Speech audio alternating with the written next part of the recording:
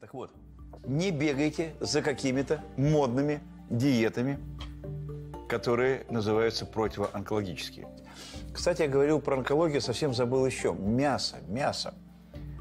С мясом сейчас произошла революция. Ее затмил только ковид, потому что в декабре месяце прошлого 19 года вышло большое исследование, которое говорит, а мясо, оказывается, и не вызывает инфарктов, не увеличивает количество инсультов, не усугубляет атеросклероз. Ну, мы говорим, мы, правда, раньше говорили, я лично всегда говорил, не чаще, чем три раза в неделю. Ну, кстати, рекомендации такие остались. Почему не каждый день, раз уж это безвредно? А потому что для сердца безвредно, может быть.